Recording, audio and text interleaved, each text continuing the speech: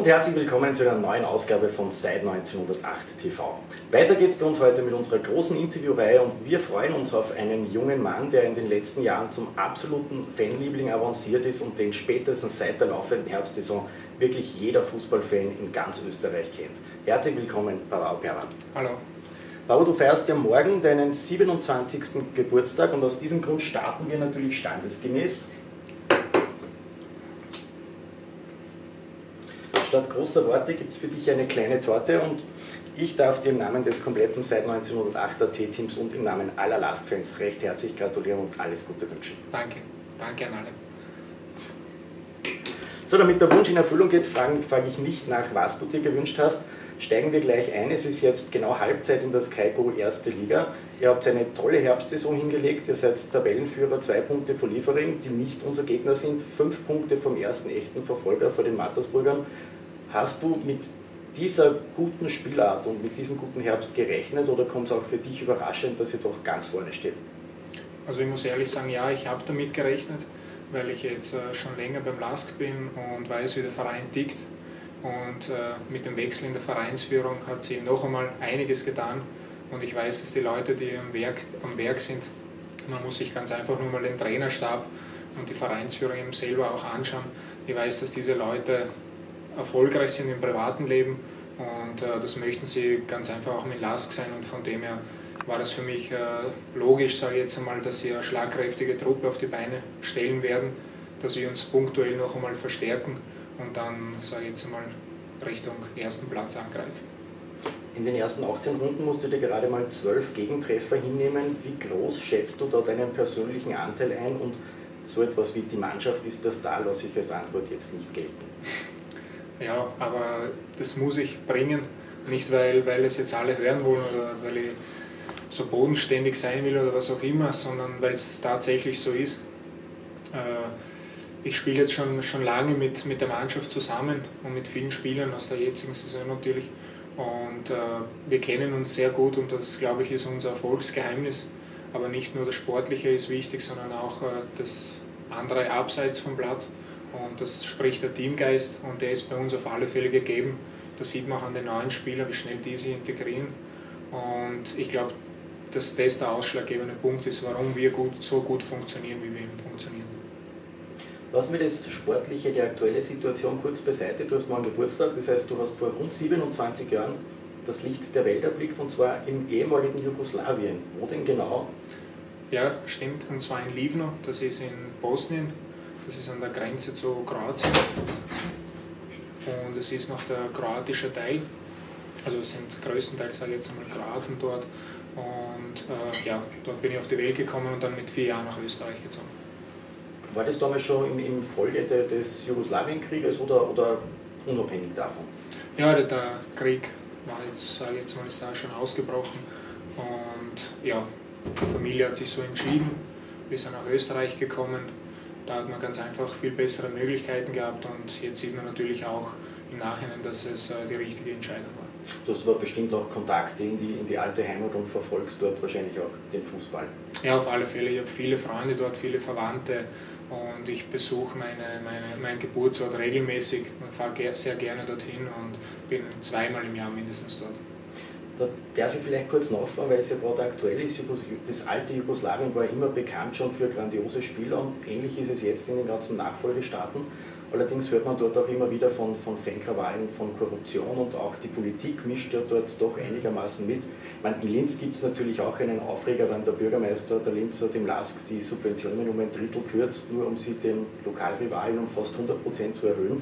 Aber solche Geschichten, wie man es gesehen hat beim EM-Quali-Spiel zwischen, zwischen Serbien und, und Albanien, sowas hat es bei uns noch nie gegeben. Wie schätzt denn du dort die Situation ein in den nächsten Jahren auf, auf Nationalteam-Ebene und auch auf Club-Ebene?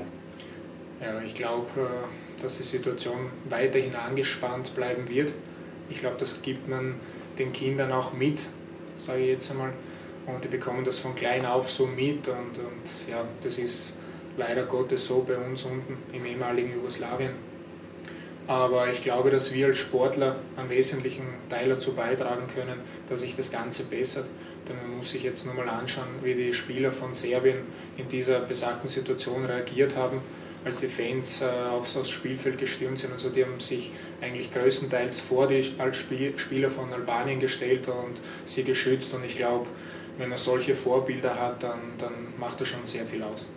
Schade, vor allem, wenn, ich, wenn man so zurückdenkt, gerade die, diese Spiele, auch noch, ein bisschen kann ich mich auch noch erinnern, ich gehe ja doch auch schon auf den 40er zu, die, gerade die, die Spiele der Jugoslawen, das waren wunderschöne Fußballspiele, weil einfach dort wirklich sehr, sehr viele begnadete Kicker dabei waren. Ja, auf alle Fälle. Also das sieht man ja auch international, dass in den ganzen Top-Mannschaften, egal wo, äh, Spieler aus dem ehemaligen Jugoslawien spielen und dort eine wichtige Rolle spielen, also nicht einfach nur Mitläufer sind, sondern teilweise auch Spielmacher oder, oder Kapitäne sind, ganz wichtige Rollen einnehmen. Und ja, ich finde es auch schade, aber so ist es. Aber ich werde auf alle Fälle meinen Teil dazu beitragen als Sportler, um das zu verhindern, dass es wegen mir, sag ich jetzt mal, Krawalle gibt. Naja, da gibt es eher Krawalle wahrscheinlich, weil, weil die Mädels da zum Randalieren anfangen, weil sie unbedingt in der Nähe wollen, oder? Das weiß ich nicht. Das, diese Probleme habe ich noch nie gehabt. Schauen wir zurück zum, zum kleinen Paro. Du bist mit, mit vier Jahren nach, nach Österreich gekommen, nach Wien, glaube ich. Und wo hast du dann deine ersten Fußballschuhe zerrissen? Beim Favoriten AC. Also auch bei einem Traditionsclub? Genau, auch beim Traditionsclub. Äh, ich wohne nämlich zwei Minuten vom Stadion entfernt und so hat sich das dann ergeben, dass ich natürlich gleich beim VVC anfange. Und, ja.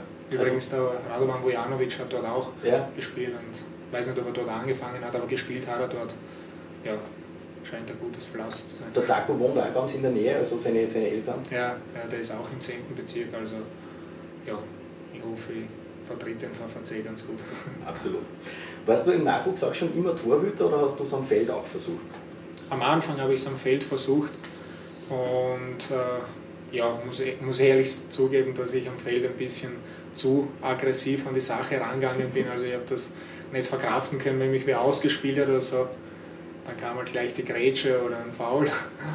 Und ja, dann hat sich der Trainer gedacht, ja, es kann so nicht weitergehen und jetzt müssen wir uns was einfallen lassen. Und durch meine Körpergröße, weil ich früher auch nicht der Kleinste war, bin ich dann ins Tor gestellt worden und so hat das also begonnen. strafweise ins Tor versetzt worden. Ja, aber es hat mir dann schnell sehr gut gefallen und ich muss ehrlich sagen, vielleicht ja, jetzt ja, war das Schicksal und ich bin dankbar, dass es so gekommen ist. Du bist dann später in Schwächert gelandet, hat es da zwischendurch noch andere Stationen gegeben in Wien? Ja, da war ich noch beim Team Wiener Linien. Da war ich 13 Jahre alt, von 13 bis 16 und dann mit 16, 17 zu Schwächert und dann von Schwächert zum FC Lustenau. Diese, diese zweieinhalb Jahre in Schwächert, die waren irgendwie schwer zu recherchieren. Du hast zwar dort gespielt, bist aber in der Regionalligamannschaft, glaube ich, einmal Ersatz gewesen und hast zwei Partien wirklich von Beginn an gespielt. Ansonsten haben wir über diese Zeit eigentlich gar nichts herausgefunden. Wo hast du da gespielt in Schwächert? Ja, also bei Schwächert habe ich in der U18 gespielt und in der U19 und dann zusätzlich noch bei der Kampfmannschaft mittrainiert. Dann habe ich noch zusätzlich für die Reserve gespielt und in der ersten Mannschaft war damals ein Torhüter, der hat Nikola Prekic geheißen, der war der erste Torhüter, der sensationelle Saison gespielt und hat zu Recht auch gespielt und ich war sehr jung und wurde, sage ich jetzt mal, nicht so ernst genommen und weil ich eben die Karriere noch vor mir hatte, unter Anführungsstrichen und ja, das hat sich dann eben so ergeben. Ich muss ehrlich sagen, ich bin immer dort zu meinen Spielen gekommen, sogar in der Kampfmannschaft habe ich eben ein mhm. Spiel bestritten, was damals für mich natürlich super war, aber so wollte ich natürlich nicht weitermachen und dann hat sich das ergeben, dass ich zum FC Lustenau wechseln kann.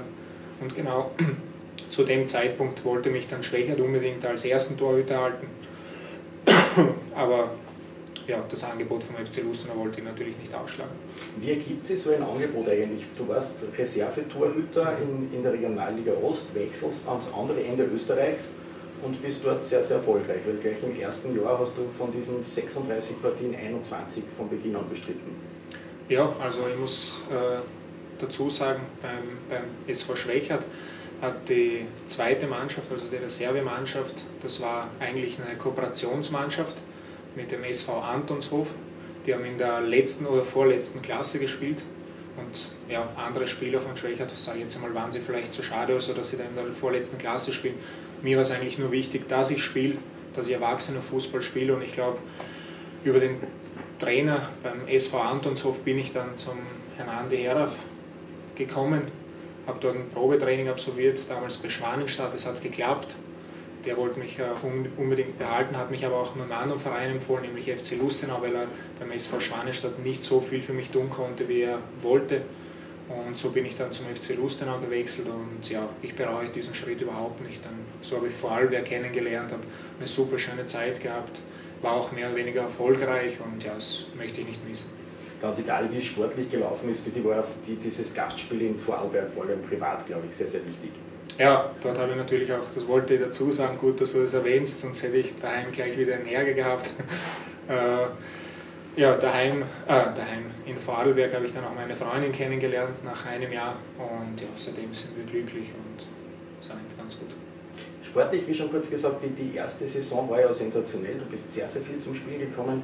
Zu Beginn der, der zweiten Saison im Herbst ja auch noch und dann war aber, glaube ich, irgendwie der Wurm drinnen. Dann gab es noch einen Einsatz und ansonsten einen stetigen Wechsel zwischen Tribüne und Ersatzbank. Genau. Und zwar das Problem war damals äh, in dieser Saison eben, dass ich nicht mehr gleichgestellt war, weil ich einen kroatischen Reisepass hatte, dass der Verein aber verabsäumt hat und, äh, und nicht draufgekommen ist, falsch recherchiert hat oder was auch immer. Es ist einfach untergegangen. Und nach dem ersten Spiel hat der Verein dann eine Geldstrafe bekommen, weil wir eben mit drei Ausländern und mir vier Ausländer hatten. Hat er eine Geldstrafe bekommen, glaube ich, von 50.000 Euro. Und die ersten elf Spiele haben wir kein Fernsehgeld bekommen. Und ja, dann habe ich eben diese ersten elf Spiele spielen können, weil die Strafe sowieso fällig war. Und nach diesen elf Spielen kam dann ein Trainerwechsel, da kam dann Enad Belica zum FC Lustenau. Der hat auf seinen Torhüter gesetzt, auf den Christian Dobnik. War sein gutes Recht, das hat er mir auch gleich mitgeteilt, dass er auf ihn setzt. Ich hatte das zu akzeptieren. Und danach ist mir eben diese Jugendregelung auch zum Opfer gefallen, weil immer eine gewisse Anzahl von jungen Spielern am Blankett erscheinen musste ja. und so musste ich dann teilweise sogar auf die Tribüne. Was sehr hart war, aber ja, es hat mich trotzdem nicht vom Weg abgebracht. Mittlerweile hast du aber einen österreichischen Pass. Mittlerweile habe ich einen österreichischen Reisepass. Ich musste ja sofort nach dem ersten Spiel den österreichischen Reisepass beantragen. Erst dann durfte ich wieder spielen. Und ja, das ist dann Gott sei Dank schneller über die Bühne gegangen, als ich gedacht habe. Aber der Trainerwechsel ja, ist mir dann nicht unbedingt entgegengekommen. Für uns war es, denke ich, positiv, weil im Winter, also in der Mitte der Saison 2019, hat es dich dann erstmals nach, nach Oberösterreich verschlagen zum FC Pasching. Und dort hast du dir ja in der Frühjahrsaison ein Duell mit einer echten Lask-Legende geliefert und dieses Duell gegen den Peppi Schickelgruber hast du 10 zu 5 gewonnen, also du hast öfter gespielt als der Peppi selbst. Wenn du jetzt an ihn denkst, was fällt dir zu unserem Peppi spontan ein? Ich muss ehrlich sagen, der Peppi war nie mein Konkurrent der Pepe war immer ein Vorbild in dieser Situation für mich, weil ich gewusst habe, wer der Pepe Schiegelgruber ist und was er erreicht hat. Und so habe ich ihn auch immer gesehen. Ich habe tagtäglich von ihm gelernt und wir verstehen uns auch heute noch sehr, sehr gut. Und er hat mir immer wieder Tipps gegeben. Und ich habe, muss ehrlich sagen, von Pepe nur gelernt. Und dass ich spielen durfte, habe ich auch dem Pepe natürlich zu verdanken, weil er sich vor mich gestellt hat und, und vor dem Trainer und sich für mich eingesetzt hat. Und ja, deshalb werde ich dem Pepe auf ewig dankbar sein. Er ist meiner Meinung nach ein großartiger Sportler und genauso großer Mensch und ich habe nur lobende Worte für ihn und ja, den größten Respekt. Also binnen einem, einem halben Jahr hat sich da alles wieder zum Positiven eigentlich gewendet. Im Jänner war es sehr, sehr schwierig, dann das halbe Jahr in Pasching und dann hast du im Sommer 2010 beim LASK unterschrieben. Seitdem spielst du auch hier bei uns. Was war damals für diesen Wechsel ausschlaggebend? Ja, ganz einfach das Ziel Bundesliga. Damals hat der Lars eben in der Bundesliga gespielt und es war schon immer mein Traum, in die Bundesliga zu kommen. Und natürlich bin ich auch mit dem Gedanken gewechselt, dass ich auf meine Chance warte, dass ich hart arbeite und hoffe, dass sie kommt und dass ich sie dann auch nütze. Und ja, ich habe diesen Schritt nie bereut, obwohl es natürlich die ersten zwei Jahre, obwohl die sehr hart waren, weil der Thomas Mandl eben da war und gespielt hat und es viele Trainerwechsel gab und der Lask in wirklich keine einfache Situation war, was wir alle wissen. Und ja, aber ich bin glücklich, dass ich diese Zeit so gut durchgestanden habe und dass ich jetzt spielen kann. Schauen wir uns diese beiden Jahre vielleicht kurz im Detail an. Im ersten Jahr, wie du schon gesagt hast, war noch Bundesliga. Du warst immer der, der Zweier-Goalie hinter Thomas Mandl, hast Regionalliga gespielt, wenn es wenn sich ausgegangen ist und bist im Cup zum Einsatz gekommen. Du hattest in dieser Saison aber auch dein Bundesliga-Debüt und das kannst du dich ganz bestimmt erinnern. Ja, gegen Kapfenberg haben wir auswärts 2 zu 2 gespielt. Und ja, ich hätte es mir natürlich besser vorgestellt, ich wollte unbedingt gewinnen und vielleicht gleich ein Gegentor bekommen. Es ist natürlich nicht so gut gelaufen. Ich glaube, ich habe mich auch nicht so gut angestellt. Ich hätte mich viel besser anstellen können bzw. verkaufen können. es ist so gekommen, wie es ist. Ich habe wieder daraus gelernt und dann beim zweiten Spiel gegen Wacker Innsbruck eine viel bessere Leistung geboten. Ich würde sagen, dass ich da mein wahres Gesicht gezeigt habe und ja, war sehr schön. Insgesamt muss man allerdings sagen, in dieser Saison ist ein Unentschieden durchaus schon ein Erfolg gewesen. So viele Siege hat es insgesamt ja nicht gegeben in diesem Jahr. Ja, leider muss man das auch als Erfolg ansehen, aber ich glaube trotzdem, dass in diesem Spiel mehr drinnen gewesen wäre, wenn ich eine bessere Leistung abgerufen hätte. In der nächsten Saison war dann nach dem Abstieg, zweite Liga bis kurz vor Ende eigentlich um, die, um den Aufstieg mitgespielt. Für dich lief es wieder ähnlich, eine Halbzeit gespielt und am Ende stand dann fest der Lizenzentzug und der Gang in die dritte Liga. Äh, was hat bei, bei, dir da überwogen? War das der Frust dieses Zwangsabstiegs oder hast du trotzdem auch damals schon erkannt, diese große Chance jetzt endlich wirklich um die Nummer 1 zu kämpfen, beziehungsweise von Beginn weg die Nummer 1 zu sein? Ich muss ehrlich sagen, ich habe mich bis jetzt mit jedem Verein, bei dem ich gespielt habe, identifizieren können. Sprich, ob das jetzt der FC Lustenau war oder, oder auch Baschen, obwohl ich dann ein halbes Jahr war. Und beim LASK war es eben ganz besonders so, weil ich das drumherum mitbekommen habe und gesehen habe, was da für ein Potenzial drinsteckt.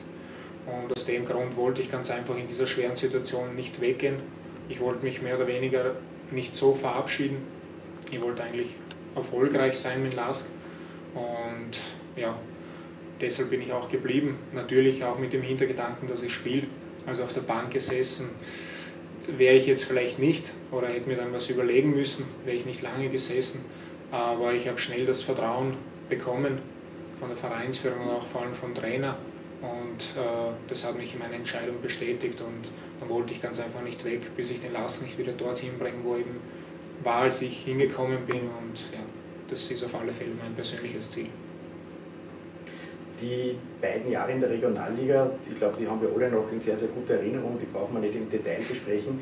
Lass uns da eher über deine persönliche Entwicklung reden und wenn ich darf, würde ich das gerne machen anhand eines Beispiels, einer kleinen Geschichte, die wir zwar miteinander erlebt haben im Laufe ja. der letzten beiden Jahre. Ähm, blicken wir genau zwei Jahre zurück. Es war November 2012 und wir haben uns damals von seit 1908 aus in einer laumigen, feuchtfröhlichen Runde zusammengesetzt und haben eine Kaderanalyse gemacht. Mhm. Und ich habe mir damals zu folgendem Satz hinreißen lassen. Parao Perwan ist noch nicht der Rückhalt, der Spiel im Alleingang entscheiden kann, er hat aber das Potenzial dazu. Wie gesagt, das war vor genau zwei Jahren, vor rund einem Jahr habe ich mich dir entschuldigt für diese ja, doch etwas blöde Aussage. Heute würde ich fast sagen, nehme ich diese Entschuldigung zurück, denn eigentlich habe ich recht gehabt. Du bist nämlich mittlerweile genau dieser Mann, der diese Spiele wirklich zum Teil fast im Alleingang entscheiden kann. Wie siehst du das? Ja, danke für das Kompliment. Ich freue mich natürlich, wenn so positiv über mich berichtet wird. Aber ich muss genauso dazu sagen, dass du jetzt im Nachhinein betrachtet damals auch, auch zu einem gewissen Teil recht hattest. Nur natürlich hat mich das geärgert, weil ich einer bin, der tagtäglich am Platz geht und versucht 100% zu geben und da trifft einen so eine Aussage, aber das war einfach... War aber damals war, schon nicht genau, böse gemeint. das war nicht böse ja. gemeint, ich habe es halt nur persönlich genommen, sage ich jetzt einmal, weil ich eben so bin, wie ich bin und ja, heute können wir darüber lachen. Ich meine, ich, ich glaube, ich habe mich dir gegenüber nie anders verhalten wegen dieser Aussage oder so. Wir waren immer gut miteinander und du hast auch das gute Recht, ehrlich, ehrlich zu berichten. Ich glaube, deshalb schätzen ja auch alle diese Seite seit 1908 und ja, das ist schon gut so. Was war eigentlich ausschlaggebend für diesen Riesensprung, den du in diesen letzten beiden Jahren gemacht hast? Denn es ist ja nicht unbedingt selbstverständlich, dass man mit, mit 24, 25 noch einmal wirklich so einen riesengroßen Sprung nach vorne macht. Gute Frage. Also ich selber ja, sehe meine Entwicklung nicht, vielleicht nicht so sehr wie, wie, wie andere Leute, die mich von Woche zu Woche spielen sehen weil ich ja doch jeden Tag mit mir selber beschäftigt bin. Aber ich glaube einfach, dass, dass das regelmäßige Spielen auch einen großen Teil dazu beitragen hat und auch das, dass ich mir, dass ich, sage jetzt mal, jedem Tormann-Trainer, den ich bis jetzt gehabt habe, gut zugehört habe und versucht habe, das immer umzusetzen, was sie mir beibringen wollten und dass ich von jedem nur das Beste aufgeschnappt habe und ja, dass ich einfach offen war und dass das sicherlich auch ein Grund war, warum ich mich so entwickelt habe, wie ich mich entwickelt habe. Aber ja, ich bin meiner Meinung nach noch lange nicht dort, wo ich gern wäre oder wo ich mal hinkommen möchte. Und um das zu erreichen, tue ich genauso viel wie früher, wenn nicht sogar mehr, wenn es geht. Tormann-Trainer ist genau das Stichwort. Welche Rolle spielt für dich hier im Verein der, der Wolfi Wimmer, euer Tormann-Trainer? Ist der eine besondere Bezugsperson auch für dich? Ja, auf alle Fälle. Der Wolfi und ich arbeiten jetzt schon seit drei Jahren zusammen, beziehungsweise dreieinhalb Jahren. Jetzt im Sommer werden es vier Jahre. Und ich hatte noch nie einen Tormann-Trainer über einen längeren Zeitraum. Und ja, es ist natürlich eine ganz besondere Beziehung. Ich weiß, wie der Wolfi tickt. Er ist nicht der Einfachste, ich bin nicht der Einfachste. Das ist, das ist so, wir sind Tormänner, deshalb stehen wir im Tor und lassen uns aus drei Meter ins Gesicht schießen oder in einen anderen Bereich.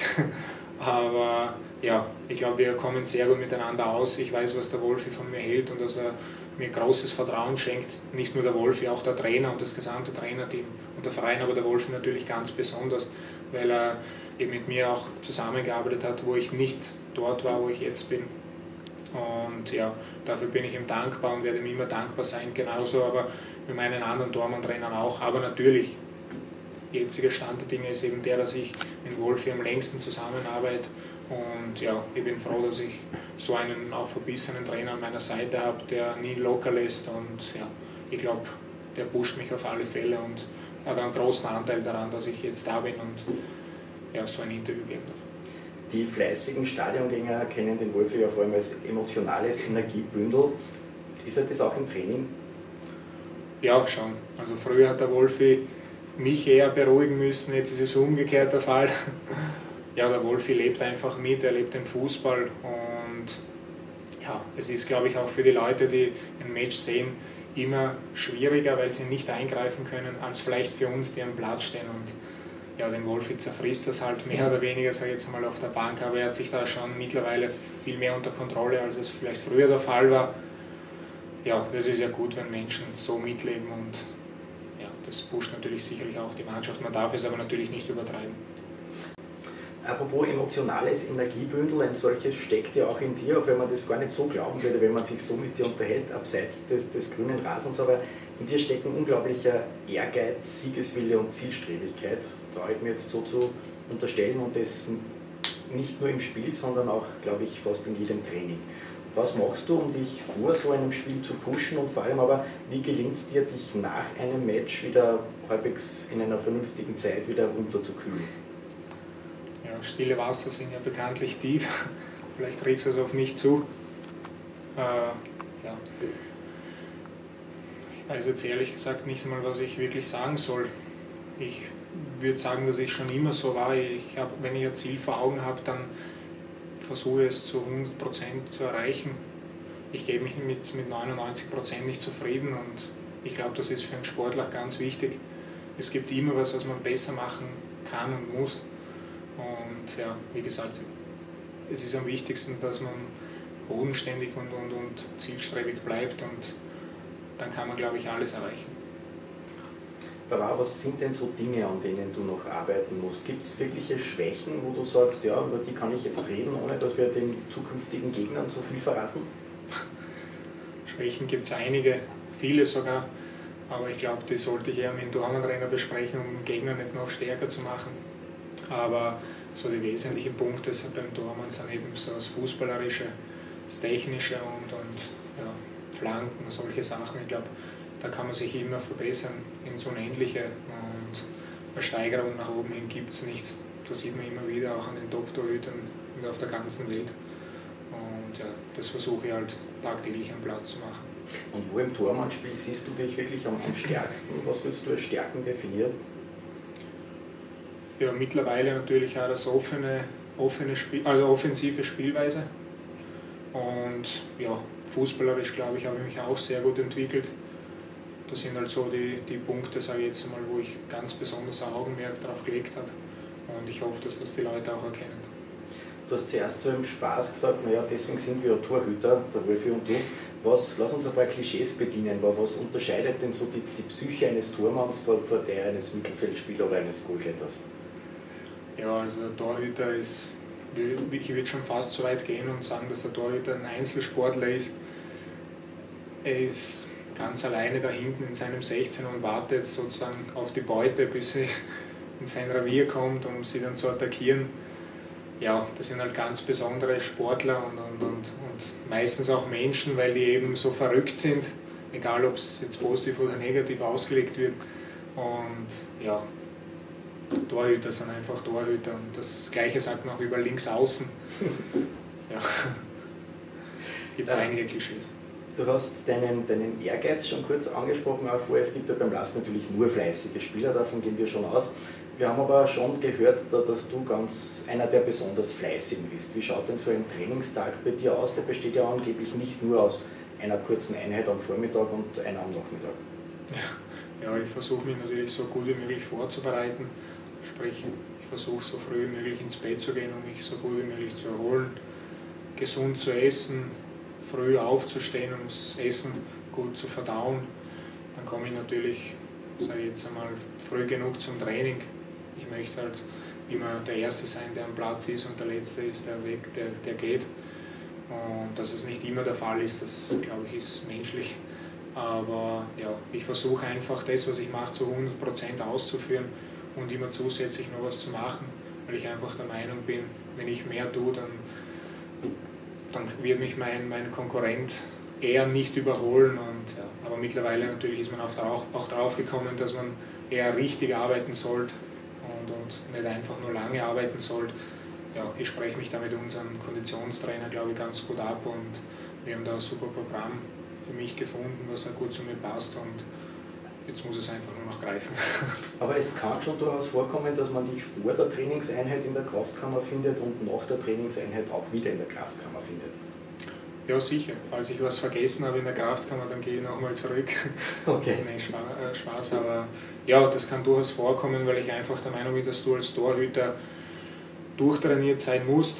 Du musst dich auf so ein gutes Level bringen. Natürlich auch als Spieler, aber als Torhüter ganz besonders, weil du dich eben tagtäglich schmeißt muss gut aufgewärmt sein und, und ja, der Oberkörper spielt genauso eine wichtige Rolle wie der Unterkörper. Und ja, da gibt es einiges zu tun.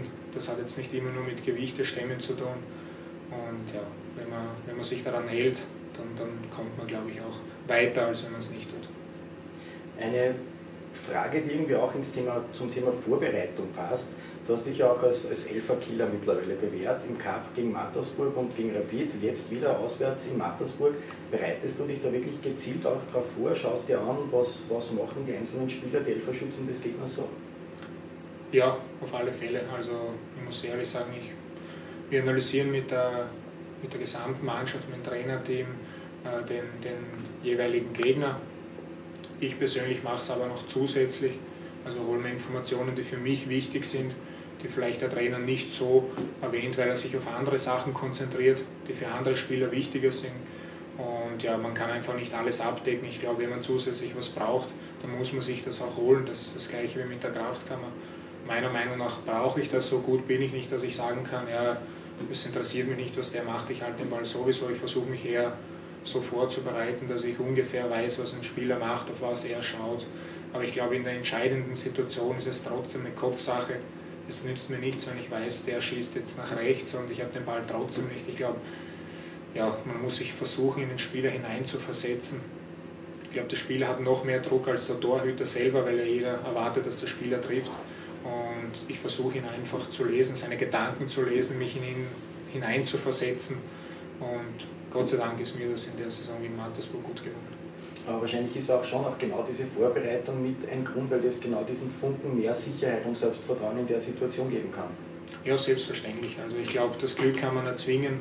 Ich will mich nicht aufs Glück verlassen. Ich will alles dafür tun, um das Glück zu erzwingen. Und ich glaube, wenn man das versucht und wenn man sich mehr vorbereitet als die anderen, wenn man mehr trainiert als die anderen, dann kommt es zurück. Daran glaube ich, mit dem bin ich immer gut gefahren. Und ja, wie gesagt, ich möchte nicht, dass irgendein anderer Torhüter, der mein Konkurrent ist, egal wo der ist, dass der mehr tut, dass, dass ich mir was vorwerfen kann. Ich möchte einfach mich so optimal wie möglich vorbereiten, um den voraus zu sein oder um den einzuholen und das zu erreichen, was er erreicht hat. Beim letzten Auswärtsspiel in Mattersburg war diese Vorbereitung definitiv optimal. Du hast in der Nachspielzeit diesen, diesen Elfer pariert, hast dann in der, bei der anschließenden Ecke noch einmal mit einer wirklich ihren Parade diesen 1 zu 0 Auswärtssieg in einem 6-Punkte-Spiel gerettet. Wie ist es dir da am Abend dann gegangen, beziehungsweise spät in der Nacht, wie wir heimgekommen sind? Seitdem hast du da schlafen können? Um ehrlich zu sein, nicht, nein. Oder nur ganz schlecht, ganz wenig. Ja, das sind so Tage, die einen unglaublich glücklich machen. Man wünscht sich, dass der Tag ewig dauert, dass er nie zu Ende geht. Und ja, aber am nächsten Tag muss ich ehrlich sagen, beim Training habe ich mich schon wieder aufs nächste Spiel versucht zu konzentrieren. Natürlich genießt man dann auch und, und liest die positiven Kommentare vielleicht, die man mitbekommt. Aber Irgendjemand hat bei uns gepostet, Pablo, ich will ein Kind von dir, gell? ja, das war auch so eine lustige war Geschichte. War Mann? War Mann, ja. Okay. Muss mich entschuldigen. Ich glaube, das wird schwer, aber okay. Ich akzeptiere seine Vorliebe.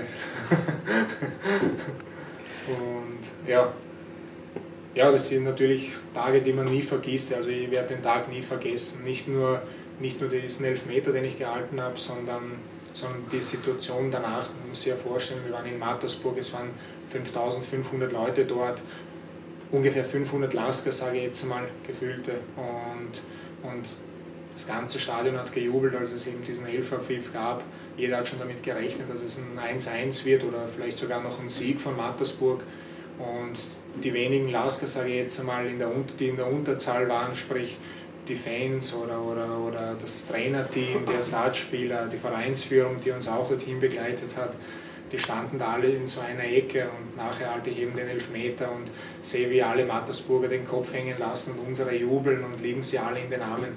Das, das ist mir persönlich viel mehr wert, weil ich eben einfach so viele Leute rund um mich herum einfach glücklich gemacht habe in dem Moment als, als, als mein Elfer, den ich gehalten habe, sondern mir geht es da wirklich eben um diesen Teamgeist, der bei uns enorm ist und, und wegen dem wir ja auch oben stehen in der Tabelle. Das ist alles kein Zufall und das haben wir uns hart erarbeitet. Wir legen großen Wert darauf, arbeiten auch mit einem speziellen Trainer an dem Teamgeist und das macht es einfach alles bezahlt und wenn man dann, sage ich jetzt mal, mit solchen Aktionen jemanden so glücklich machen kann und, und, und sie Menschen in den Armen liegen, weil ich eine gute Aktion mache, dann ist das für mich persönlich das Schönste, was ich erreichen kann als Sportler. Ja, es ist Fußball. Ich glaube, das, das sind halt die Momente, die für, für sehr viel Qual entschädigen ja. im Endeffekt, oder? Ja. Da war es dann wert. Ja, auf alle Fälle, auf alle Fälle. Und das bestätigt mir einfach nur in meiner Arbeit und ich möchte nicht, nicht genauso viel machen fürs nächste Spiel, sondern einfach noch mehr und versuchen immer mehr und mehr und mehr zu machen, um einfach zu vermeiden, dass so ein Schlendrian hineinkommt und, und dass man sich gehen lässt und so. Gott sei Dank bin ich bis jetzt nicht der Typ, der, der sowas macht und der sich, nicht, der sich eben gehen lässt. Ja, ich versuche einfach fokussiert zu bleiben und immer mehr zu machen als die anderen. Du überlässt ja, glaube ich, wirklich so gut wie nichts dem Zufall. Du hast ja auch eine besondere Beziehung zu deinem Sportgerät, zu deinen Handschuhen. Vor dem entscheidenden Relegationsheimspiel gegen Pandorf ist ja da etwas passiert. Dieses Spiel hätte ja fast ohne dich stattfinden müssen. ja, ohne mich jetzt nicht stattgefunden. Ich glaube, dann hätte ich ohne Handschuhe gespielt oder mit Winterhandschuhen, das wäre mir in dem Fall egal gewesen. Aber weil ich das Spiel unbedingt spielen wollte, aber ja, ich bereite immer vom Spiel meine Handschuhe vor und gebe es dann unserem Zeugwart, dem Klaus Fischel. Und der kümmert sich ganz besonders darum und gibt ihnen ganz einen besonderen Platz, dass ja kein Druck auf ihnen lastet und nichts. Und bei dem Spiel hat er eben so viele Sachen zu organisieren, dass es vielleicht irgendwie vergessen hat oder vielleicht habe ich es ihm schlecht hingelegt oder unübersichtlich zurückgelegt oder was auch immer. Auf jeden Fall wollte ich dann zum Aufwärmen und habe gesehen, dass meine Handschuhe nicht da waren. Ich habe mir gedacht, dass er mich vielleicht irgendwie so besonders behandeln will und sie irgendwo von einem ganz bestimmten Platz gelegt hat, damit ja keiner angreift oder sonst was. Dem aber nicht so, er hat es nämlich im Stadion vergessen, sprich in, in Zördorf ja. vergessen und ja, bei der Masse, die im Stadion war, war es nicht so einfach, wieder in, nach Zörov zu fahren und die Handschuhe zu holen. Die habe ich dann kurz vom Spiel bekommen. In der, in der Zwischenzeit habe ich mit den Handschuhen vom Torwarttrainer, von Wolfgang Wimmer, aufgewärmt, was kein Problem war. Aber ja, ja, der Klaus, war, der Klaus hat diese Geschichte erzählt, weil er wahnsinnig stolz auf diese Leistung ist. Es war absolutes Verkehrschaos auf ja. der Inselbude und er ist trotzdem im Weltrekordzeit, glaube ich, nach Zürdorf und wieder zurückgekommen. Ja, Klaus meistert alles irgendwie. Wir wissen selber nicht, wie er das macht, aber er ist unglaublich. Das ist, glaube ich, auch ein sehr, sehr wichtiger Putzelstein bei diesem ja, ganzen Erfolg. Auf alle Fälle, auf alle Fälle. Er ist auch so ein Einzelsportler wie der Torhüter, ist auch ein verrückter Vogel, aber auf seine Art und Weise. Aber was er, was er macht, das ist wirklich bewundernswert, wie er das alles meistert und vor allem mit welcher Leichtigkeit. Ja, das glaube ich, findet man nicht so schnell wieder und ich glaube, jede Mannschaft kann sich nur so ein Zeugwart wünschen. Vorbilder sind wichtig, Zeugwarte sind wichtig, Handschuhe auch. Was die Vorbilder angeht, kann ich mich, glaube ich, erinnern auf ein früheres, früheres Interview von dir, da hast du den Oliver Kahn genannt. Wir sind allerdings der Meinung, dass es seit dem Sommer da ein neues Vorbild geben muss. Ein neues Vorbild, ne? das war schon ein Wortspiel. Ja, ein gut neues Vorbild würde ich jetzt nicht sagen. Es war immer der Oliver Kahn, weil er mich so als Typ fasziniert hat. Der Siegeswille vor allem. Aber natürlich äh, heutzutage ist der Manuel Neuer noch moderner, als es Oliver Kahn damals war. Und ich glaube, die Mischung macht es aus. Also so ein, so ein Siegertyp wie der Oliver Kahn und die Fähigkeiten von Manuel Neuer heutzutage, ich glaube, das wäre die perfekte Mischung. Aber ich glaube, die sind beide so gut, dass, dass, dass beide unter Anführungsstrichen perfekte Torhüter waren oder sind. Und ja, es wäre ein Traum einmal ja, mit denen im gleichen Raum zu stehen oder sage jetzt mal Spielfeld zu spielen oder sonst irgendwas. Das sind einfach besondere Persönlichkeiten meiner Meinung nach.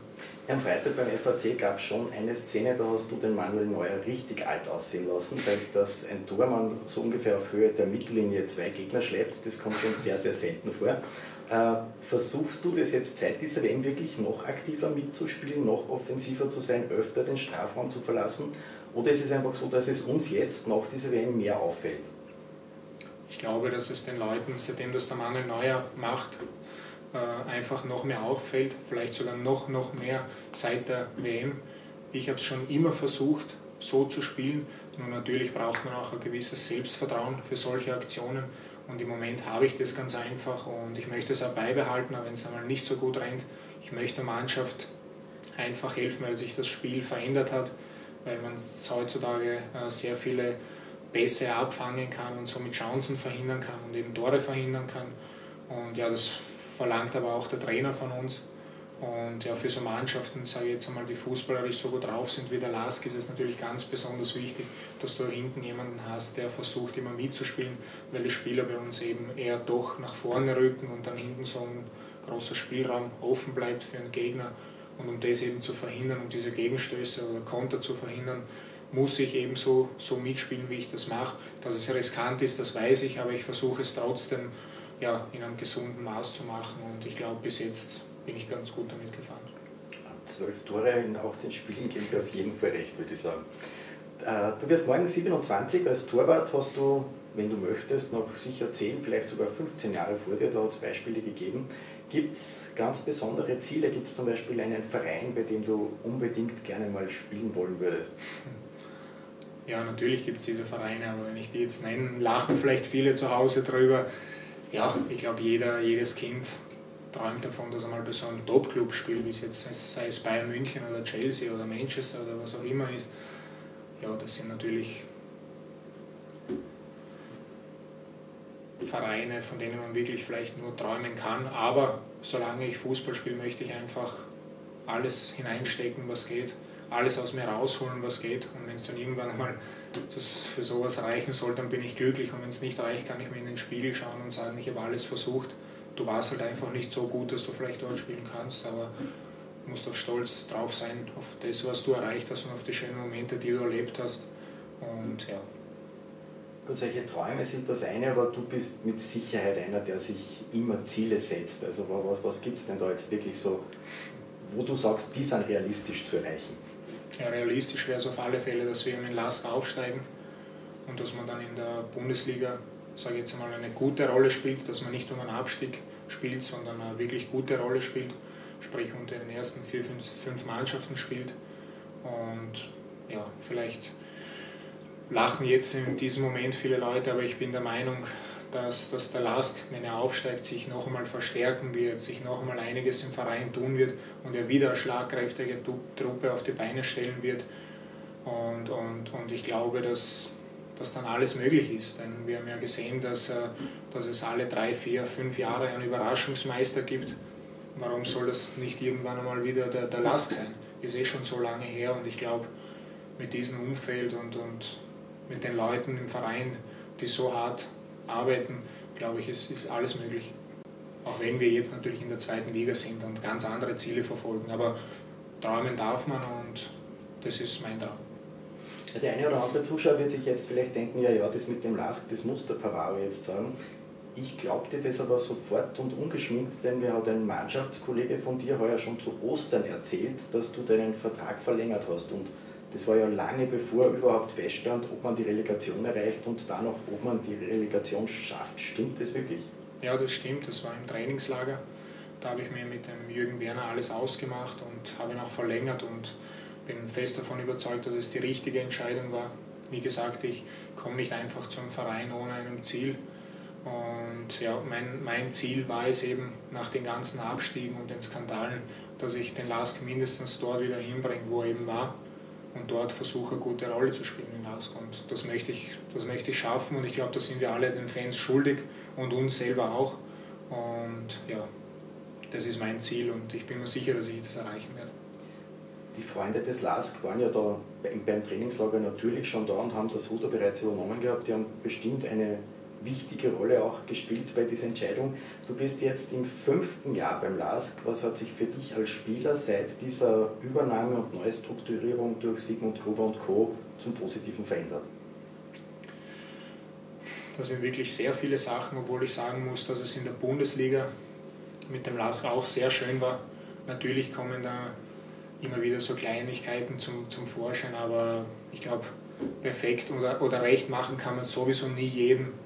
Aber es hat sich natürlich sehr viel verändert, seitdem die neue Vereinsführung da ist. Vor allem die, die, die Berichterstattung in den Medien, die, die ist viel positiver, das, das ganze Umfeld ist viel positiver. Ich glaube, es, es wird jetzt nicht mehr so negativ berichtet in den Zeitungen, Skandale gibt es fast nicht mehr, sage ich jetzt. Sagen, es gibt ja kaum Oder es gibt keine, genau, es gibt auch jetzt mehr oder weniger nichts Negatives zu berichten, obwohl ich mir sicher bin, dass Leute aus den Medien sicherlich was finden würden, wenn sie was finden wollen würden, weil was Negatives finden kann man immer, bei jedem, bei mir oder das naja, weiß nicht, bei früher war es allerdings fast Mainstream gegen den Laser zu sein und heute wird sich genau. jedes Medium fast ein Eigentor schießen. Genau, genau, so ist es, so, so sehe ich das genauso. Man muss, ich glaube, die Leute erkennen, dass, dass, dies, dass die Leute, die jetzt den Verein übernommen haben, einfach große Ziele mit dem Verein haben, dass sie sich selber eher rausnehmen oder nicht in den Vordergrund stellen und sagen, ja, ich bin der große Boss und ich manage das Ganze, sondern einfach nur, es ihnen einfach nur um den Last geht und das schätzen die Leute und ja, von der Mannschaft, glaube ich, waren sie schon immer begeistert, weil es eben so zum Verein gestanden ist, als es eben ganz schlecht lief und das hat sich eben verändert und von den Bedingungen oder vom Umfeld, jetzt von den Trainingsbedingungen müssen wir, glaube ich, gar nicht reden, weil die sind sowas von unglaublich, also ja, ich bin einfach nur so froh, dass ich da trainieren darf, weil da einfach alles passt. Es werden uns einfach alle Wünsche erfüllt und, und ja, man kann sich nur aufs Sportliche konzentrieren, man muss sich nicht darum kümmern, wann das Geld auf dem Konto ist oder sonst etwas oder wo wir trainieren, oder wann wir trainieren, ob wir, genau, oder ob wir das Geld bekommen, aber okay, es ist sicherlich keine einfache Zeit für, für einen, für einen Ex-Präsidenten gewesen. Ja, gut, ich glaube, wir sind alle froh, dass es jetzt so ist, wie es ist. Und ja, dennoch muss ich persönlich dankbar sein, denn unter dem ehemaligen Präsidenten bin ich zum Lass gekommen und ich kann jetzt auch nicht alles schlecht reden. Also es wäre auch nicht fair ihm gegenüber, nur bin ich froh, dass es natürlich jetzt so ist, wie es ist. Lass uns auch einmal auf deine, auf deine Ziele zurückkommen. Du hast zuerst gemeint, du selbst kannst diese Leistungssteigerung nicht so einschätzen. Mittlerweile spielt ihr wieder Bundesliga und es gibt jede Menge Statistikmaterial auf Low Lions, auf Bundesliga.at und du wirst die wahrscheinlich kennen. Du hast die beste Fangquote der ganzen ersten Liga und stellst mit dieser Quote sogar, glaube ich, fast alle in der Bundesliga in den Schatten. Und jetzt ist am Wochenende Länderspielpause und da gibt es drei Torhüter, die sagen wir, in letzter Zeit ja, zum Teil sehr durchwachsene Leistungen gezeigt haben. Ist dieses Nationalteam für dich ein Thema oder sehen wir Fans das ein bisschen zu sehr durch die schwarz-weiße Brille? Ja, also ich meine, es ist ja alles so extrem im Leben eines Sportlers, wenn man gut spielt, dann wird man vielleicht gleich mit dem Nationalteam in Verbindung gebracht. Wenn man einen schlechten Lauf hat, wird alles in Frage gestellt. Es ehrt mich natürlich, dass mein Name überhaupt mit sowas in Verbindung gebracht wird. Dennoch muss ich aber zum Schutz aller Bundesliga-Torhüter sagen, dass, dass das schon was anderes ist, ob ich hier in der zweiten Liga so eine Fangquote habe oder ob ich die oben aufweisen kann in der Bundesliga. Also ich bilde mir jetzt nicht darauf ein, dass ich jetzt besser bin als ein Gulaschi oder irgendwer anderer, der im Nationalteam ist. Ich glaube, als, als, als Zweitligatorhüter ist es, das wäre schon ganz frech, wenn ich da fordern würde, dass ich in ein Nationalteam komme weil, weil ich der Meinung bin, dass da eben so viele Torhüter in der ersten Liga spielen und nicht umsonst in der Liga spielen und, und sie auch eine Einberufung verdient hätten. Und ja, wenn man sich das österreichische Nationalteam zum Beispiel anschaut, da ist da ein Robert Almer, der zwar nicht spielt, aber immer wieder gute Leistungen gebracht hat. Februar, glaube ich, nicht mehr spielt. Ja, aber dennoch eine, eine, sehr gute Leistung gebracht hat, immer im Nationalteam oder vor allem jetzt gegen Montenegro. Und ich glaube, das wäre unverschämt, wenn ich da jetzt irgendwas fordern würde, das würde ich nie im Leben machen. Aber, aber es ist für mich eine Ehre, wenn man mit sowas in Verbindung die, die, die Forderung, glaube ich, die, die wird von dir niemals kommen, so war es nicht gemeint. Äh, die, die Frage war für mich einfach die, es gibt doch irgendwie, die, diese Torhüterposition ist im Team durchaus vakant. Zumindest hat man dort mhm. nicht drei, mhm. die wirklich konstant stark sind und du spürst einfach, obwohl zweite Liga wirklich eine sensationelle Saison. Und da wäre es doch nicht vermessen, dass man zumindest die, dieses Ziel früher oder später einmal ins Auge fasst. Achso, das Ziel auf alle Fälle. Das Ziel auf alle Fälle. Also ich glaube, um das Ziel zu realisieren, muss man mit dem LASK aufsteigen, in der Bundesliga spielen und dann, sage ich jetzt mal, ist man näher dran als jetzt in der momentanen Situation. Dessen bin ich mir bewusst. Ich weiß, wie schnell das im Fußball gehen kann, von 0 auf 100. Man sieht es ja am besten beim Kevin Wimmer. Ja. Oder? Und ich glaube, das ist ein riesengroßes Vorbild für, für jeden Spieler. Der hat einen absoluten richtigen Weg gemacht und hat sich alles verdient. Dem ist nichts geschenkt worden. Und ja, ich hätte nichts dagegen, wenn es bei mir auch so rennt. Vor allem gab es ja im österreichischen Nationalteam schon einmal einen Torhüter aus Österreichs zweiter Liga, der war zufällig vom LASK. Ja, der Hans-Peter Berger. Hat der dann, ich kann mich nur noch Lindenberg erinnern, hat Hans-Peter Berger zur Lastzeit auch in der Zeit? Also zur, Lastzeit nicht, er war damals bei der, bei der Admira in der zweiten Liga und der Lask war noch in der Bundesliga, ja. kann ich mich erinnern, dass Torhüter ausgefallen sind ja. und der ist nachgerückt. Ja, natürlich, natürlich, warum soll man das Unmögliche nicht möglich machen, das ist mir schon klar, aber ich muss ehrlich sagen. Also Kontakte gab es bisher noch keine. Nee, zum, zum mir hat keiner gesprochen, aber es ehrt mich, wie gesagt, das muss ich immer wieder betonen, dass ich mit sowas überhaupt in Verbindung gebracht werde, auch wenn es nur von Lask-Seiten ist, aber ja. Gut, wir sind da nicht ernst zu nehmen, nee, nee, wir sind Lask-Fans, ich sag's. Ich bilde mir, wie gesagt, ich bilde mir darauf nichts ein. es ist einfach nur schön, es ist besser, man spricht so über mich als anders. Und, ja. Aber du kennst uns als Ziel also. Ja, super, danke. So, bevor wir uns jetzt mit den letzten beiden Partien vor der Winterpause beschäftigen, muss ich noch eine sehr persönliche Frage stellen und die stelle ich ganz bewusst am Ende in der Hoffnung, dass einige schon nicht mehr zusehen. Also diese, diese Vorbereitung ist ja bei uns bei seit 1908 zum Teil auch Teamwork und ich muss diese Frage stellen. Bist du eigentlich sehr eitel? Würde ich nicht sagen. Ich lege schon Wert auf mein Äußeres, aber ich bin jetzt nicht übertrieben eitel. Also ich, ich brauche jetzt nicht jeden Tag Parfum oder Gesichtscreme oder sonst irgendwas. Ich glaube, ich brauche das, was jeder andere Mann auch braucht. Ich dusche jeden Tag, aber ich glaube, das ist jetzt nicht übertrieben. Ich putze mir jeden Tag die Zähne regelmäßig, aber jetzt. Ja, die Frage hat einen natürlich auch nicht ganz ernst gemeinten Hintergrund. Wir haben dich noch nie mit einem Kapperl gesehen, ganz egal wie also, tief die Sonne auch steht. Magst du generell keine Kopfbedeckungen oder, oder macht dir die Sonne nichts aus oder geht es da doch auch ein bisschen um die Frisur? Also ja, ich, ich, muss ehrlich sagen, dass ich schon auf die Frisur achte, aber jetzt, ich würde jetzt nie die Frisur vor, vor das Resultat stellen, das auf gar keinen Fall. Ich bin einfach nur der Meinung, dass mir das Kapperl nicht wirklich helfen würde. Und deshalb lasse ich es weg, weil ich eben der Meinung bin, wenn ein hoher Ball kommt, muss ich sowieso nach oben schauen und da bringt mir auch das Kapperl nichts. Ich schaue einfach direkt in die Sonne, ich verfolge immer die Flugbahn des Balles oder muss das machen und deshalb bin ich der Meinung, dass mir das Kapperl nicht so viel bringt.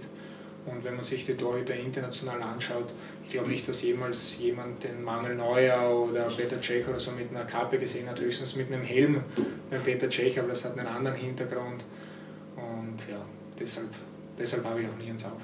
Gut, und damit hätten wir auch diese Frage ein für alle Mal geklärt. Die sind wirklich einige Male vorgekommen im Zuge der Vorbereitung. Aber kommen wir zum Ende. Der Herbstmeistertitel ist eingefahren, zwei Partien stehen noch an. Rein vom Papier her müsste es ein Spaziergang sein. Kapfenberg ist der Tabellenachte, Hartberg ist letzter. Bisher gerade, war es gerade gegen diese beiden Teams aber schwierig. In Kapfenberg gab es einen sehr, sehr knappen Heimsieg, einen Unentschieden auswärts und dann eine echte Klatsche im Cup. Hartberg ist überhaupt die einzige Mannschaft, gegen die in dieser Saison kein Sieg eingefahren werden konnte. Da stehen zwei X zu Buche. Was erwartest du dir jetzt nach zwei Wochen Pause dann von diesen letzten beiden Partien? Ja, ich, ich erwarte mir zwei sehr schwere Spiele, vor allem das Spiel in Hartberg. Aber an das denken wir jetzt noch nicht einmal so. Wir haben, glaube ich, noch eine Rechnung offen mit Kapfenberg. Die fünf Tore haben uns allen sehr wehgetan. Ich glaube, einen Mann ganz, ganz besonders. Ja, den, der sich immer aus dem Netz geholt hat. Aber ja, aber nein, es hat uns alle getroffen, weil wir einfach der Meinung waren, dass wir im Cup eine wirklich gute Rolle hätten spielen können.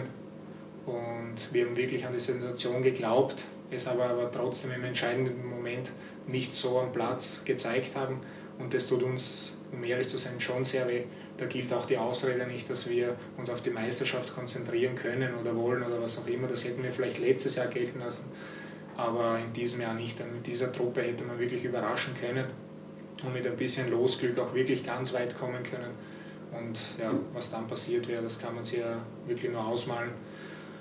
Aber okay, es ist jetzt so, wie es ist und jetzt müssen wir uns wirklich nur auf die Meisterschaft konzentrieren und ich hoffe, dass das zeigen wir auch. Ich hoffe, dass wir, wir in Linz jetzt Matters, äh, Kapfenberg fünf Tore schießen, so wie sie es uns gemacht haben. Und, ja, und, und du musst aber nicht dann unbedingt zwei nach vorne bekommen. Also Nein, ich versuche zu Null zu spielen, aber es ist schwer genug. Äh, ja, und, und in Hartberg natürlich wollen wir auch gewinnen. Das wird noch einmal ein Stück vielleicht sogar schwerer, weil es eben auswärts ist und weil jede Mannschaft zu Hause sehr schwer zu schlagen ist. Wir haben es ja schon beim, beim ersten Auswärtsspiel gegen Hartberg gesehen, da haben wir 2 zu 0 geführt, hätten das Spiel souverän gewinnen müssen und geben es dann in den letzten 15, 20 Minuten noch aus der Hand und können vielleicht noch froh sein, dass wir es nicht verlieren. Also es war sehr bitter, dieses Unentschieden hat uns ganz sicher sehr wehgetan. Aber okay, dafür haben wir in anderen Spielen auch Glück gehabt, sprich jetzt so wie gegen den FAC, dass wir nicht verlieren und ich glaube, das kommt alles zurück. Ja. Gleicht sich alles aus. Gut, diese Woche ist ja ohnehin etwas, etwas Entspannung zumindest angesagt. Ich glaube, ich war am Montag in, in der Eurotherme in Bad Scharlabach und auch ansonsten sind doch einige verletzt und angeschlagen. Da kommt diese Länderspielpause jetzt wahrscheinlich gerade euch wirklich recht. Ja, die kommt uns sicherlich recht. Äh, vor allem mit dem Nationalteam und so mussten wir viele Spiele abgehen, Jugendnationalteam. Und ja, Verletzte gab es eben auch, aber wir haben uns gut erholt und wie ich es vorher schon gesagt habe, werden uns alle Türen geöffnet, falls wir irgendetwas brauchen, alle Wünsche erfüllt und das nützen wir natürlich zu 100% aus, regenerieren gut, arbeiten trotzdem sehr gut, auch wenn nicht alle vielleicht fit sind.